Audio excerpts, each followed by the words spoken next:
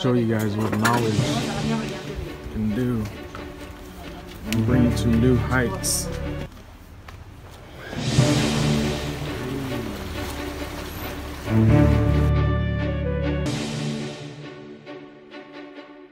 Mm-hmm.